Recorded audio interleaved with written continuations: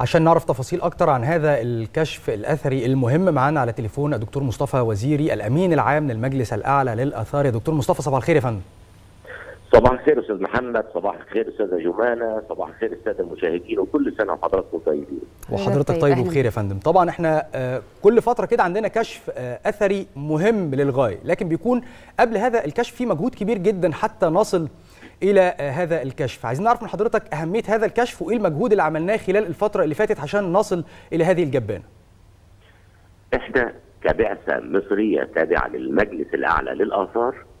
اخترنا الموقع ده من نوفمبر 2017 وزي ما كان اتقال في التقرير إحنا كان الهدف الرئيسي إن إحنا ندور على جبانة العصر المتأخر وجبانة الدولة الحديثة. في 2019 كان تم الكشف تماما عن جبانه الدولة المتأخرة العصر المتأخر وكان متبقي معانا العصر الحديث أو الدولة الحديثة. المهم إن إحنا بدأنا حفايرنا والحمد لله كان آخر الموسم اللي هو الموسم السابع في اللي بدأنا في أغسطس الماضي. بدأت مؤشرات المقابر الصخرية اللي بترجع للدولة الحديثة. وزي ما سمعنا في التقرير الحمد لله كم كبير جدا من اللغة الأثرية. وعن تماثيل الأوشبتي اللي ذكرت إحنا من ساعة لما بدأنا في 2017 تم الكشف عن أكثر من 25 ألف تمثال أوشبتي بجانب آلاف من التمائم التمائم اللي كانت بتجلب الحظ للمصري القديم وال وال والمومياوات والتوابيت الخشبية في حالة أكثر من رائعة وأواني الكانوبية ما زالت تحتفظ ب بالأحشاء بداخلها سواء معدة امعاء كبد رئتين. الحمد لله من امبارح للنهاردة الفيدباك بتاع هذا الكشف عالميا له صدى إيجابي بشكل غير عادي قنوات وصحف عالمية كلها بتتكلم على هذا هذا الكشف لأنه من المعروف إنه عشرات البعثات الأجنبية كانت بتدور على المكان ده في المكان ده عن عن جبانه الدولة الحديثة لكن مم. الحمد لله كان لنا الحظ الأوفر إن إحنا لقينا هذه الجبانة. حاجتنا برضه يا دكتور. نعم بقول لحضرتك حاجتنا فإحنا أولى بيها. الحمد لله. الحمد لله طيب. البرديه بقى ده الجميل كمان. البرديه إحنا لو نرجع بالذاكرة من سنة ونص تقريبا من المعروف عالميا إن آخر برديه كاملة اكتشفت في مصر من أكثر من 120 سنة. لما بدأنا حفايرنا برضه كبعثة مصرية في منطقة سقارة لقينا البرديه الأولى ثم لقينا البرديه الثانية ثم لقينا البرديه الثالثة ده المكان ده في سقاره، طبعا كان لازم تحس الغريفة وتون الجبل بنوع من أنواع الغيرة فادتنا الحمد لله بردية كاملة. زمايلنا المرممين بالدراسة المبدئية تشير إن البردية دي طبعا حالة أكثر من رائعة. قد يصل طولها من 15 إلى 18 متر طول تقريبا. والبردية بتتكلم عن ما يسمى كتاب الموتى. كتاب الموتى عبارة عن إيه؟ عشان نوضح للسادة المشاهدين. كتاب الموتى يعني شوية تعاويذ نصوص تفيد المتوفى في رحلته إلى العالم الآخر عشان يتخلص من الأرواح الشريرة الأرواح السيئة ثم يقدر يوصل بسهولة إلى العالم الآخر. التابوت الجميل جدا اللي تم الكشف عنه برضه بتاع سيدة العاناني من الدولة الحديثة وغالبا يمكن الأسرة العشرين هي كانت مغنية أو منشدة الإله جحودي التابوت في حالة امبارح الجميل في إعلان الكشف في الغريفة زمايلنا من المتحف القومي للحضارة المصرية موجودين المتحف المصري الكبير المتحف المصري في التحرير لجنة السنة كلهم بيبصوا إن كل واحد عايز ياخد أي حاجة يعرضها في متحفه وكان إحساس جميل جدا إن الكل بيتكالب لعرض بعض هذه القطع اللي تتناسب مع السيناريو العرض المتحفي في متحفه. المهم إن إحنا استقرينا تقريبا إن البردية رقم أربعة بإذن الله تعالى ستعرض في المتحف المصري الكبير. هي طبعا يعني حابة أعرف من حضرتك يا دكتور مصطفى برضو رحلة الوصول بقى إلى هذا الكشف الأثري. يعني الوقت قد إيه؟ العاملين أو الفريق اللي اشتغل على هذا الكشف هل كله مصريين ولا تم الاستعانة بأجانب؟ لو تعرف السادة المشاهدين فندم على رحلة الوصول يعني ما قبل هذا الكشف الأثري. أستاذة جمانه إحنا منذ أن لنا هذا المنصب ولله الحمد في 2017 بنعتمد اعتماد كلي على زمايلنا المرممين المصريين والأثريين المصريين. ما فيش واحد لا بشعر أصفر ولا بعين خضراء في مواقعنا اللي بلغ عددها بنتكلم على 50 بعثة مصرية على مستوى الجمهورية والحمد لله كان لها كان لها الفضل في إنها تبهر العالم كله بكم اكتشافات غير مسبوقة.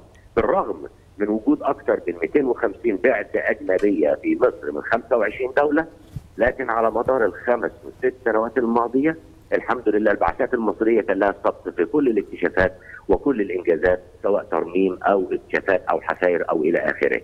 أما بقى عن عدد. متوسط عدد البعثات المصرية إحنا بنتكلم متوسط من 12 إلى 15 مفتش آثار وبنتكلم على أكثر من 40 عامل على حسب طبعا موقع نفسه ومدى حجمه غير المرممين، المرممين بيبقى متوسط مثلا ثلاثة إلى خمس مرممين في كل موقع عشان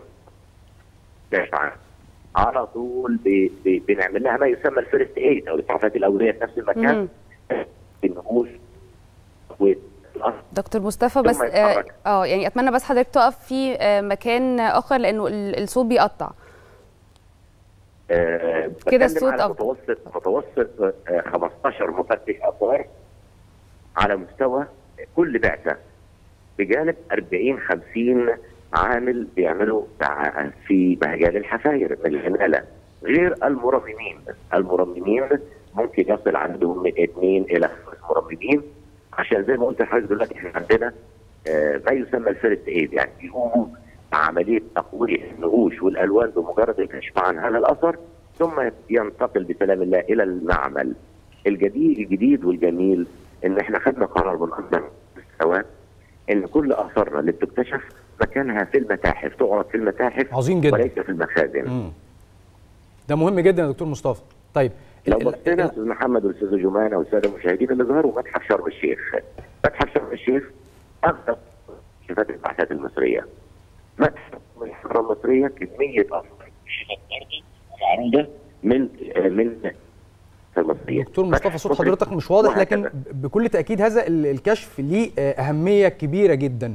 في بعض الاكتشافات يا دكتور مصطفى أكيد حضرتك طبعا هتوضح لنا هذا الأمر بتعيد كتابة أجزاء في التاريخ أو بتضيف للتاريخ بيكون فيها معلومات إضافية. هل هذا الكشف من هذه النوعية؟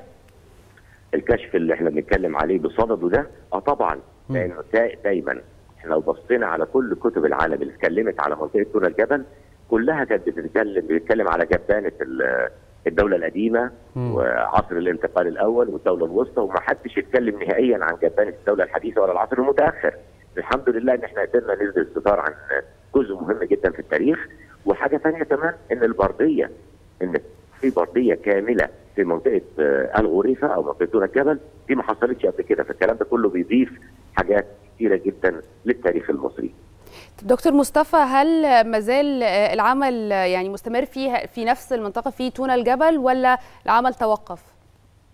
العمل لن يتوقف يا أستاذ الجمانه سواء كان في سقارة أو في الهرم أو في الأقصر أو في أسوان أو في الغريفة إحنا بنشتغل وبنتوقف بس مع نهاية شهر خمسة عشان خاطر السنة المالية. لكن كبعثات الحمد لله إحنا بنشتغل تقريبا ما يقرب من 10 شهور في السنة بنتوقف بس في شهري ستة.